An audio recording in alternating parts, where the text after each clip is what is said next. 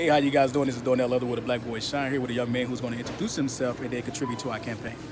My name's Anthony. I'm 12 years old. I'm in the seventh grade and I go to Michelle Obama Middle School. So what do you want to be when you grow up? I want to be a lot of things. Okay. The main thing I want to do is become a chef or a singer. Ah, okay. Any particular genre? Gospel, uh, R&B? Probably gospel and R&B. Excellent. Well, you know what?